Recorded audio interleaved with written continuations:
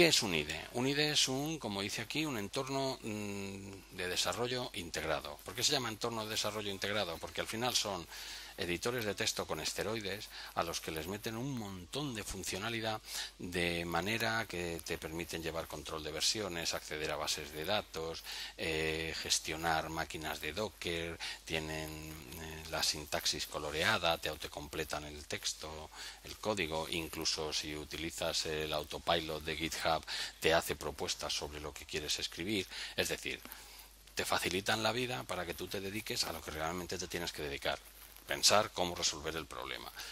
¿De acuerdo?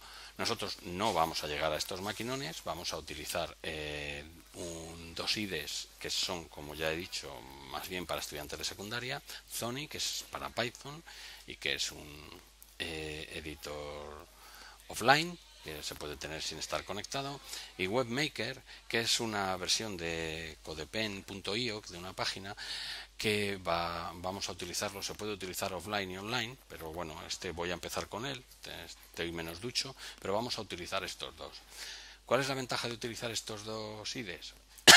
que la instalación de Python por parte de Sony y de JavaScript por parte de WebMaker se encargan ellos. WebMaker lo va a hacer en el navegador, el navegador todos llevan instalado por defecto JavaScript y Sony lo que hace es instala en un entorno virtual Sony, eh, perdón, Python, que es lo que vamos a usar. Así que de la instalación de Python y de JavaScript nos olvidamos en esta fase del curso.